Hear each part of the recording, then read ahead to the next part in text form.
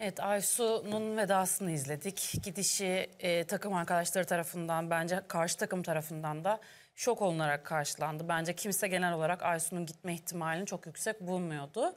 Ama Aysu gitti. Ben bu e, Aysu'nun gidişinin ünlüler takımını nasıl etkileyeceğini çok merak ediyorum. Şu an evet e, belki bir şekilde dönecek diye bekliyorduk ama e, zaten oynamıyordu iki haftadır.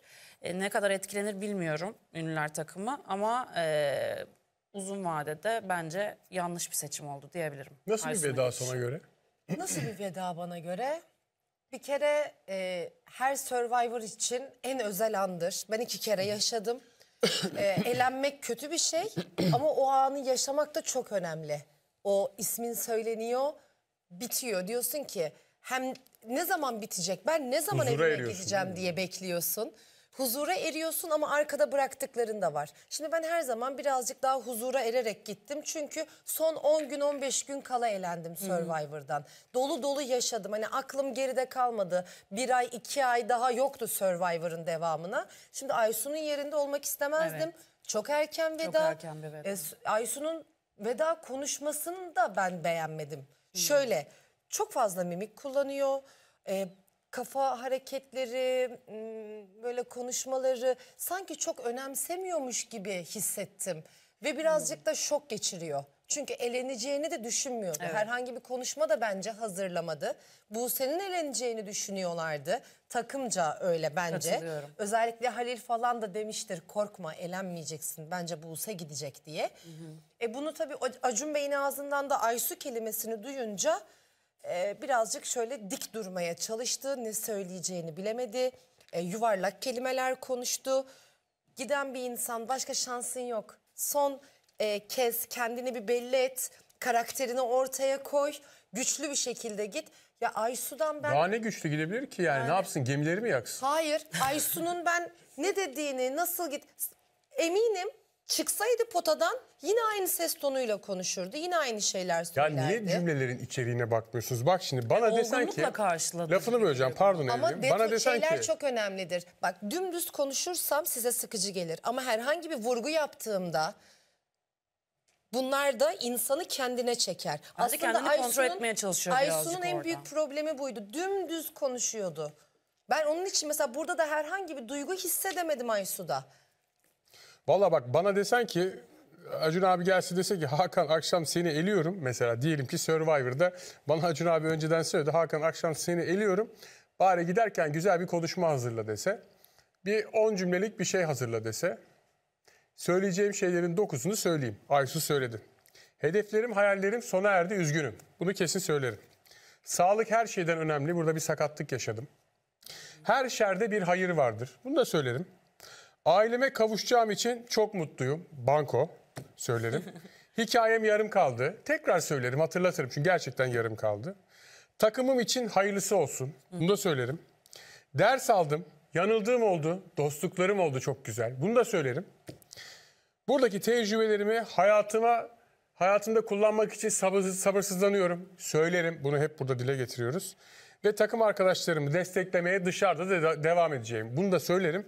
Bir tane daha ararım. Bir saat içinde bir tane daha bulurum. Bak benim için tamam o ama Aysun'un hep tavırlar öyle. Hani konuşurken hep öyle bir tavır var ama ben içeriye baktığım zaman eee, nasıl diyeyim sana ee, burada iyi bir şey görüyorum. Ee, veda kaliteli, kimseye sataşmadan. Hani kalkıp orada şöyle de yapabilirdi.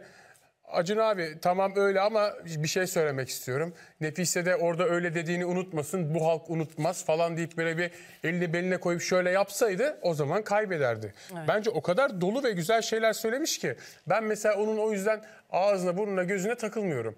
Yani beni çok tatmin etti ve çok kaliteli klas bir veda yaptı. Benim için Ya benim için Aysu mesela e, şu saatten sonra iyi hatırlanacak benim açımdan. Aysu kötü hatırlanacak bir Survivor değildi. Hataları oldu ama benim için çok klişe, çok basit bir konuşma. Ee, 20 tane Survivor'ı getir, 18'i zaten aynı şeyi söyler. Ben bir farklılık, e, nasıl söyleyeyim size? Ya Aysu erken elenmişsin, en iyi kadınlardan birisin. Tabii ki giderken birine sallamayacaksın. Hani bunu bi- bizim zamanımızda birkaç Survivor yapmıştı. Biz bile dedik ki ne yapıyorsun? Kendine neden bunu yaptın? En önemli gündür elendiğin Veda, gün. evet. Belki defalarca seni seven kişiler e, YouTube platformundan bunu izleyecekler. Yapma. Güzel hatırla. Ne demeliydi Aysu mesela sence? Sen ne bekliyordun Aysu'dan? Aysu olsan mesela sen Aysu şu an olsam Aysu'sun ve oradasın. şu an aklıma gelmiyor ama benim eğlendiğim konseylerdeki konuşmamı merak edenler açabilir ya da ama şunları demezdim mesela hikayem bitti yarım kaldı çünkü bunu 20 kişiye sor 18'i aynı şeyi söyler. Aileme kavuşacağım. Zaten ailemize kavuşacağız. Tamam bu okey. Şimdi açacağım videonu. Bu orada iki konuşurken- kelimeden ikisi de senin konuşmanda var biliyor musun? Ama eminim ben bu kadar klişe değilimdir. Boğaç Bey lütfen Aç. e, 8, Aç Boğaç 8 abi. Haziran 2022 ya da 13 Mayıs 2020 yılına gidip evrimin veda konuşmalarını açabilir misiniz? 2022'yi istiyorum lütfen. Tarihleri hatırlamam Hakan nereden inanılmaz. hatırlıyorsun? Atıyorum çünkü nasılsa kimse bilmediği için en azından benimki doğru diye kabul görür yani. Ya ben hemen inandım mesela şu Aynen. an sana. Ben nasıl başlamıştım? Nasıl başlamıştık? Hatırlıyorum bak ilk e, Survivor'ımda 8. işte ikinci Survivor'ımda kaçıncı oldum demiştim. Onu söyledim 12 mi 13 mü bir şeyinci oldum. Yoluma işte burada son veriyorum falanlar Klişe filanlar. şu ana kadar evet. Asla değil. Devam bir, et, Bir devam. açar mısınız benim vedamı ne kadar Rica ediyorum. ne Rica kadar ediyorum. e, doğru vurgular Klişe yapmışım. nasıl bir şeydir? Evrimin vedasında Asla, göreceğiz. asla Çok klişe merak. Klişe tesadüf değildir. istiyorum. Yok o kaliteydi pardon. O kalite. Konuşamadım. Böyle artık e, kelimelerim düğümlenmişti böyle. Ama bu Çok 20, güzeldi. 20 yarışmacının 18'inin kelimeleri düğümleniyor. Benim de düğümlenmişti. Vallahi hiç ben, Ben öyle hiç elenmedim. Final kol yani kon şeyde yarı finalde elendiğim için tam olarak elenmiş gibi olmadı bende hiç. O yüzden öyle bir konuşma yapma fırsatım olmadı. Sadece benim bir tane Turabi'ye böyle güzel bir laf ettiğim bir Evet. konseyim var. Özel viral olmuştu zamanında. Onu hatırlıyorum. Yoksa böyle bir eleme konseyi konuşmam olmadı hiç. Çok şükür diyelim. Konsey konuşmaları önemlidir. Dediğim gibi ya orada oyunu çekersin, oy toplarsın ya da elenmek için kendi zeminini hazırlarsın. Ya da elendiysen de öyle bir konuşma yaparsın ki e, televizyon karşısındaki insanların gözü bile dolabilir. Evet. Ben Aysu'da herhangi bir şey hissetmedim. E, hiçbir şekilde duygulanmadım ya da vay be çok güzel konuşma yaptı demedim. Geçmedi sana Benim yani. için klişeydi. Ee, iyi bir Survivor'dı. Çok büyük hataları olan, çok büyük tepkiler çeken bir Survivor değildi. Ama herhangi bir farkını da göremedim. Şimdi arada açacağım. Tamam. Senin cümlelerini not alacağım. Tamam alın. Klişenin ağ babası var mı Tamam. yok mu hep Bakın. beraber bakacağız. Bu arada demin çok güzel bir şey sordun. Ee, Aysu'dan sonra ne olur? Bence bu da çok önemli. Çünkü Aysu evet son iki gündür, üç gündür sakattı. Hatta sakat olduğu için bütün adaylarda dikkat ediyorsanız kırmızıdan çıktı. Demek Aysu'nun da bir katsayısı varmış takımda. Bir ağırlığı, önemi varmış. Evet. Ee, bence işler şu an çok daha zorlaştı. Çünkü bütün yük Nefise'de şu an. E, Buse ile Zeynep'le ya da Cansu'yla e, nereye kadar? Çünkü Zeynep de Cansu da her ne kadar yüzde ellilerde olsalar da performans olarak benim için tam bir Survivor değiller. evet. Yani e, nasıl diyeyim böyle ortalama, vasat ama beklenti olarak ikisinden de beklentim bunun altındayken güzel iş yaptılar. Onu, onun için bir şey diyemeyeceğim. Ama e, bütün yük Nefise'ye binecek. Her hafta adayı da Nefise söyleyecek. O yüzden artık adada Nefise e, gizli kraliçeliğini ilan etti. Artık orada bütün söz bence Nefise'de gibi gözüküyor. Evet. Bakalım. Ama Nefise'nin çok büyük tepkiler çekeceğini düşünüyorum. Dün bu masada konuştuk. Nefise bireysel bir spordan geldiği için Evet. bence takımını sahiplenemiyor. Ve dün izlediğim oyunda onu da birazdan izleyeceğiz. Minik bir e, dokundurma yapayım. Bıktım artık. İşte çıkmayacağım. Ben yoruldum. Üst Bırakıp üste oyunlara istiyorum. çıkıyorum. Çıkma Nefiseciğim. Yani hem oyuna çıkıyorsun, takıma yardımcı olmak istiyorsun ama kaybettiğinde de söyleniyorsun. Kimse sana best of'a çık diye yakana da yapışmadı. Çıkma. Yani sen best of'a çıkmayınca kırmızı takımda ölüp bitmiyor. Ya da sen best of'lara çıktın da ne oldu? Senin sayende de kazanmadılar. Yani bu kadar da kendini diğerlerinden önemliymiş gibi üstte görmesi beni dün gece çok rahatsız etti. Ama onun sayesinde kazanmadı diyemeyiz ki. Diyemeyiz yani.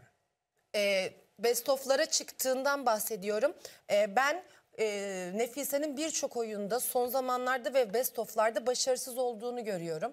E, hiçbir şekilde e, bir winner'lık yok Nefise'de. Nefise çok hızlı bir survivor ama atışları iyi bir survivor değil. Onun için bayağı zorlanacak. Dün keşke Cansu çıksaydı Nefise'nin yerine. Vallahi Evet 3'te 3 yapmıştı. Kesinlikle. Çünkü. ya 3'te 3 yapsa bile ben Nefise'yi çıkarırım. Ama şunu de, şunu der misin? Ben aynı takımdayız. Hakan ben sana güveniyorum. Çıkar mısın best of'a? Çıkarım dersin değil mi?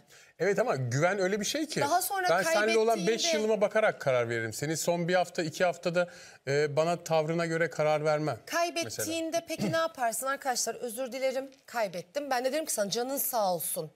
Senden iyisi yoktu şu anda ve sana daha çok güveniyorduk. Hani önemli değil ama Nefise'de şöyle bir tavır var. Yeter artık best of'a çıkmayacağım. Yine kaybettim. Neden? Kendimden bu kadar vermeyeceğim artık. Kendimden bu kadar ver. Verme Nefise. Çünkü buradaki yüzdesi düşüyor Nefise'nin. Asıl strese girdiği olay o. Cansu ya da Zeynep ya da bir erkek onun üzerine çıkacak. O kadar çok oyuna girip kaybettiğinde otomatikman yüzdesi düşmüş olacak.